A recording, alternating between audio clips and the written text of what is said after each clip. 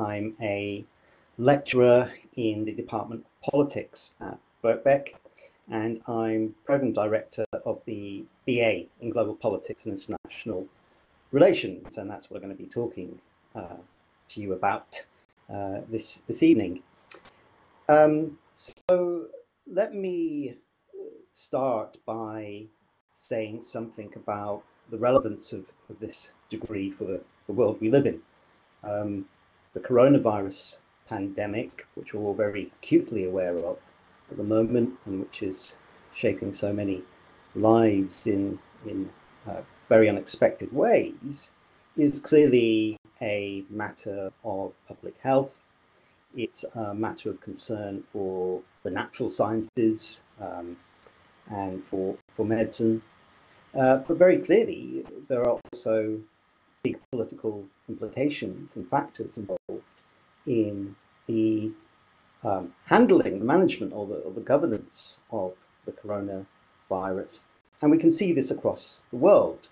Um, coronavirus is a global problem, and it's a global political problem that different states are dealing with in different kinds of ways.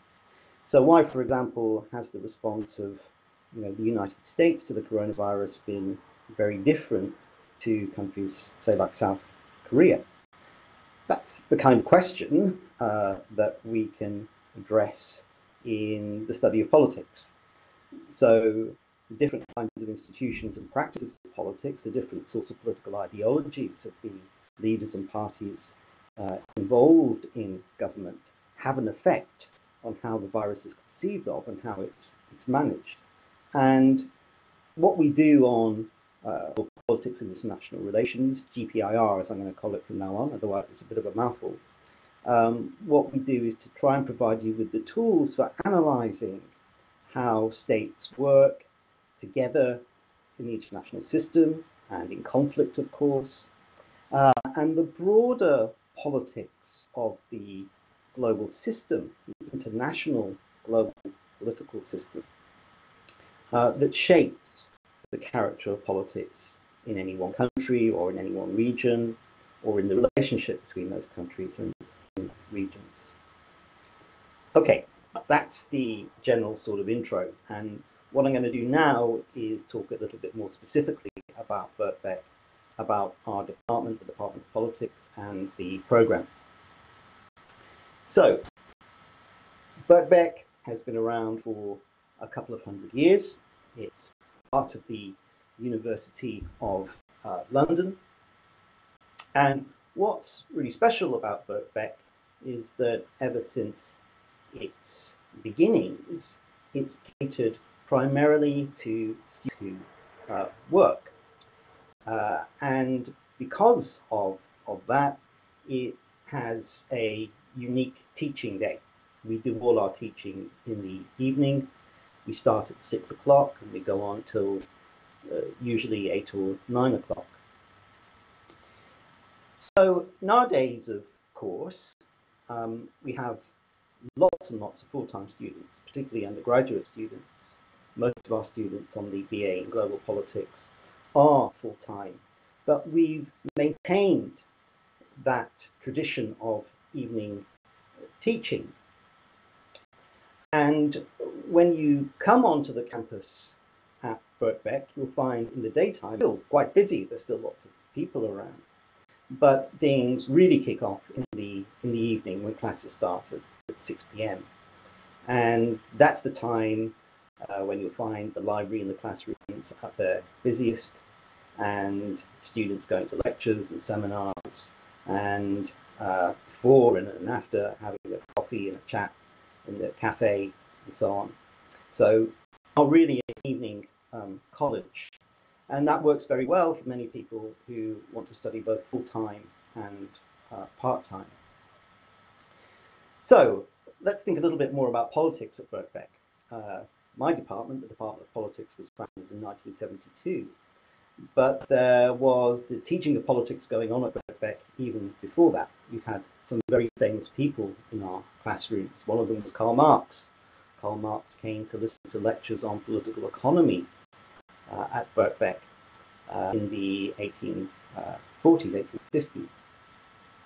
Um, other famous people have passed through our doors who are very much involved in politics or were very much involved in politics. One of them was uh, Ramsay MacDonald, the first Labour uh, Prime Minister. Uh, the Webbs, who were also very important in the foundation of the Labour Party, were also uh, students at um, Birkbeck. And in more recent times, uh, from the department, we've had our own graduates who've gone on to have uh, prominent careers in, in politics. Uh, one of them at the moment is the Shadow Foreign Secretary, Lisa Nandy. Uh, she did uh, a master's degree with us about 10 years ago. So um, there's always been a kind of emphasis on politics in and around Birkbeck. Our department, the Department of Politics, which is located at number 10 Gower Street, not number 10 Downing Street, but number 10 Gower Street, has been uh, here since 1972. Um, it was founded by three well-known figures in the study of, of, politics and society, Bernard Crick, Paul Hirst, and Sami Zubaida. And um, at the start, uh, the department was actually a department of politics and sociology. Now, since 2009, we've been just the politics. But actually, our earlier title tells you a little bit about our approach because we have a strong interdisciplinary focus in the department. So we study politics, but we also think that to understand politics, it's important to draw on other subjects, subjects like sociology, like history, like economics, like psychology, geography, and philosophy. Um, and we have uh, connections to and links to all these other departments across Birkbeck. And our teaching is informed by this broad interdisciplinary approach. We have a, a faculty, permanent members of staff of about 18 uh, people, and uh, all of them are active researchers. We're all doing research and publishing uh, books and articles on our particular areas of expertise, and we bring uh, bring the research that we do into our, our teaching. So when you come and study with us, you're going to be taught by people who uh, are at the forefront of uh, knowledge in their particular field of expertise. Uh, we've got a wide range of courses. We don't just teach at undergraduate level. We also have a number, a large number of master's programs. Uh, we have PhD students, uh, and we also provide uh, for foundation year teaching and certificate teaching as well. At the moment, we have about 600 students in the department. And I'll say a little bit more about that last point at the, at the bottom uh, later on. But you know, we're not just concerned with teaching the curriculum. We have lots of events and extracurricular activities that, that go on throughout the year uh, that we hope uh, are useful and enjoyable to our students. Let's move on now to talk then about the global politics degree, global politics and international relations. I said at the outset, um, the focus of uh, GPIR is on the international political system, the international political and economic system, um, and the way that that has emerged in the modern world and the way that politics in the broader sense of struggles over cooperation, sorry, struggles of conflict and uh, forms of political cooperation have shaped that system over the course of the last few hundred years. I'll say something a little bit more about that when I turn to some of the key courses in, in a moment. But here's some uh, the basic facts that you need to know about the, degree. If you want to do the degree full time, uh, then you do that over three years, and there are 12 uh, modules involved. You do four modules every year, and you can see on the slide here what those modules are. Um, I'm not going to go into these in, in, detail for the moment. As I say, I'll, I'll, come back to talking about three modules in particular, which are key uh, to the uh, degree. Um, but you'll see there uh, that well, perhaps you can't see there, but what it translate to, translates to is that you're coming in to study um, over three years between three and four nights. Also, one thing you might want to note here is that uh, as you go through the degree, uh, you have more choice of, of, options. So that in your final year, you take one compulsory course, but also three option courses. Uh, or you can take two option courses and elect to do a dissertation in that final year.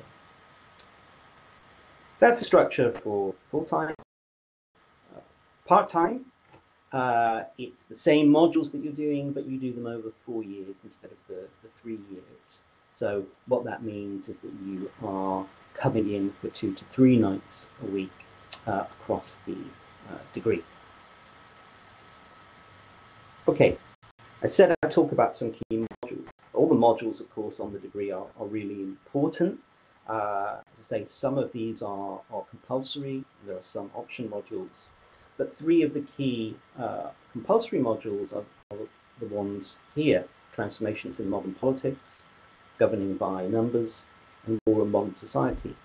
So let me just say something briefly about each of these to give you a flavour of what we do on the degree. Transformations in Modern Politics is a that looks at the formation of the modern state and the modern international political system from around the 16th century uh, onwards. So it goes from that period, a period of, uh, of warfare in Europe and the rise of imperialism and colonialism uh, to the 20th and the, of course, the 21st century, which we're now in, uh, and the many uh, uh, changes transformations that have taken place in the nature of states and the relationship between them over that 400 year uh, period. So it has a strong, this module has a strong historical focus, but it also asks key conceptual questions about the nature of democracy, about the nature of authoritarian um, government, uh, and about the nature of international institutions. So that's a, a, module that you take in your first year, uh, Transformations in Modern Politics. Another module uh, that is compulsory in the second year uh, is Governing by Numbers. Now, on the face of it, this might look like a course on statistics, but uh, I hope that won't put anybody um, off. Uh, it's not a course which involves lots of number crunching and lots of maths and so on. Rather, it's a course that uh, alerts us to the importance of the way that numbers and statistics are used in politics um, in all kinds of areas. So you might think about the current coronavirus uh, epidemic, pandemic, and the way in much of the information about that is communicated in terms of numbers, graphs, and so on. We see every day graphs about the uh, increase in the number of cases or the number of. What is that information relaying to us, which is in some sense political? How are these numbers interpreted politically? These are important questions, and governing by numbers is a, an excellent course that gets you to think critically about the way in which we use uh, numbers and graphs and so on uh, in the presentation of ideas and discourses about politics. In the third year, or the uh, possibly the fourth year if you're doing the degree part-time, uh, another compulsory module is War and Modern Society. This uh, module looks at the history of uh, war, uh, particularly in the modern world, again from about the 16th century onwards, though it has a uh, focus on war in earlier times as well. And it acknowledges the absolutely key role that war has played in shaping modern societies and modern politics and the modern international system. And the way that this uh, uh, course is taught um, also alerts us to the way in which war has evolved and changed over the time, uh, and the way that it has interacted with social and economic and cultural factors um, to play a major role in influencing uh, the way in which we relate to one another and the way in which states relate to one another in the world uh, today. And it also has a focus on uh, contemporary problems to do with war, problems of nuclear weapons, uh, like uh, uh, conflicts that involve genocide, and so on. So that's the key module for the Global Politics and International Relations degree. Okay, uh, I'm going to move on now to talk about some other practicalities, teaching and learning. Um, you will attend lectures and seminars, as I say, about uh, depending on whether you're doing it part-time or full-time, between two and four evenings per week. Uh, lectures are usually about 50 minutes to an hour um, long, um, and the lecturer will uh, give a presentation for the lecture, um, and uh, that will also bring in the reading that you will do for every every week, and that reading is uh, presented to you at the beginning of the year in, uh, in the module handbook that you're, you're given. And usually following the lecture, there'll be a seminar. And the uh, seminar is an opportunity for you to discuss the lecture, to discuss the reading that you've done for that week, to look at particular questions that your um, seminar tutor will have given you, um, to have maybe group presentations, individual presentations, maybe debates, and so on. So seminars, uh, lectures are very important for you um, gathering information about the topic that you're doing for that week. Seminars are absolutely crucial for improving and, and deepening your understanding of, of, the topic. And also a great opportunity to learn uh, with um, your colleagues. Uh, the other thing we need to mention here, of course, is that we have structured lectures and seminars, but most of the work that you will be doing is not in the classroom but outside of it. Um, you will need to be reading to prepare for lectures and seminars. Uh, you will be um, writing up your notes from the lecture and the seminar. You will be preparing for essays. You'll be writing essays. You'll be preparing for exams and so on. So the bulk of what you do inside the, the classroom uh, and uh, we uh, absolutely want to, to help you uh, to structure your time and organize your time outside the classroom so that you can get through the work that you need to to do really well. But the key thing here, of course, is that that kind of study is down to you. It's your independent study. Uh, so it's important to get into a, a routine and into a set of practices that allow you to, to learn as effectively as you can outside of the, the classroom. Um, let's move on now to assessment, how the degree is uh, assessed. And in the department we have a mixed, uh, we have mixed forms of assessment. Um, so uh, much of what you do will be, particularly in the second and third years, will be in the form of essays and exams, though we're going partly to do with what's happening at the moment with the coronavirus. We're going through some changes to how we organize exams at the moment. Um, but then on other modules, we have a diversity of forms of assessment that can include things like essay plans and bibliographic exercises, book reviews, quizzes, group presentations.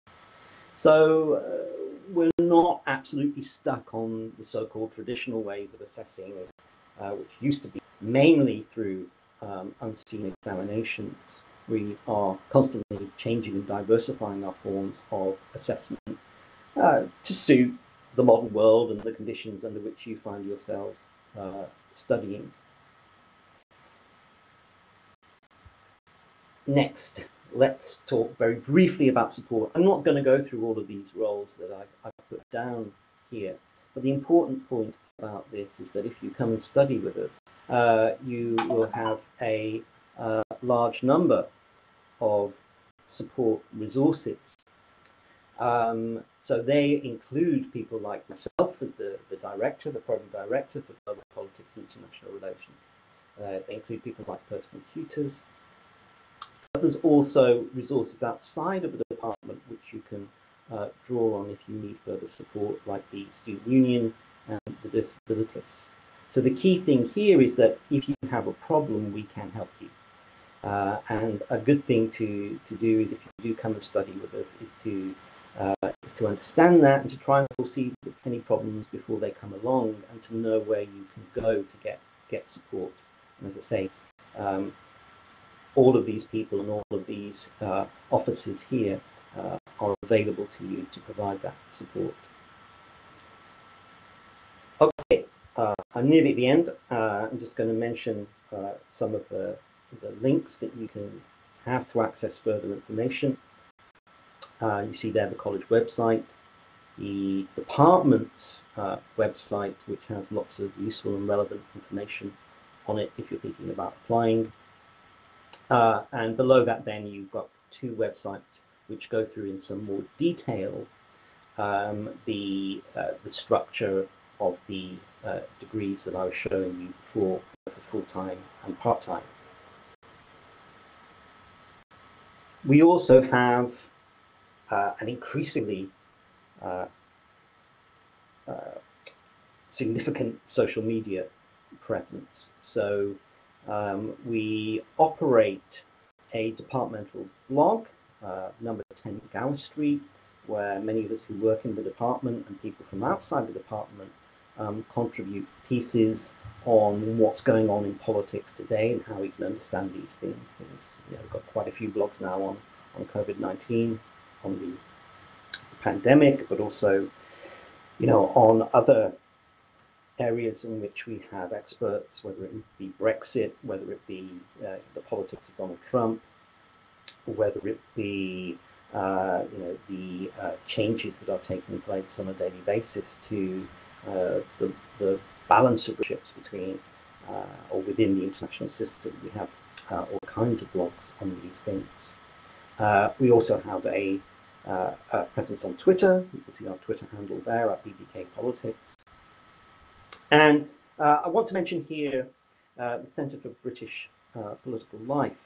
It's a research centre that we run out of the uh, department, but it, it, also puts on a number of events throughout the year. I was talking before about um, the events that we, we put on that are outside the curriculum, and the centre plays a very important part in this. Now, uh, we call it the Centre for British Political Life, and there is a focus on Britain.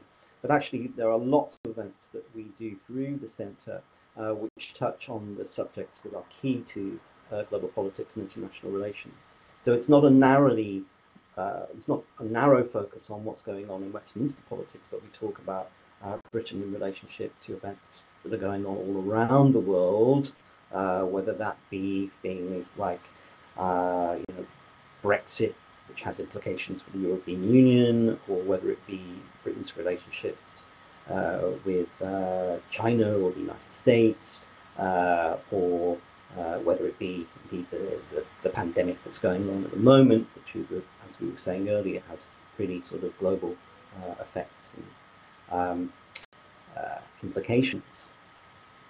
Uh, and um, we also what we do is uh, when we have events that we, we record them. Um, uh, there are a number of podcasts that you can sample at that last link uh, there on, on SoundCloud.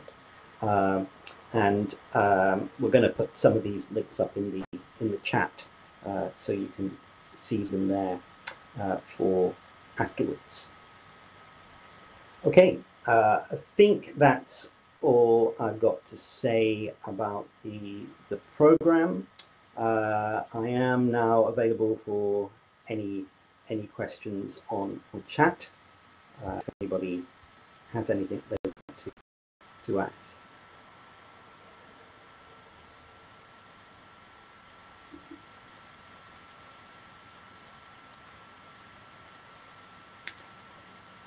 Any questions? Okay.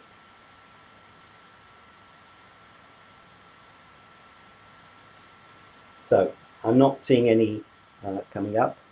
Uh, so uh, the last thing I'll, I'll, say then is that uh, I hope you'll uh, have uh, a look at the links, have a look at the further information about the degree, you can see the prospectus on online, and of course you can uh, apply to Birkbeck uh, online as, as well. Uh, in fact, that's the way that we do applications nowadays, uh, nowadays on online. Uh, and my advice would be that if you, you know, if you do want to apply to us, try and get your, your application in as, as early as possible. Uh, and then hopefully when you're accepted to come and study with us, um, you'll be you'll be all ready uh, for when we start in the in the autumn. Okay, thanks very much. I'm going to sign off. Thank you. Goodbye.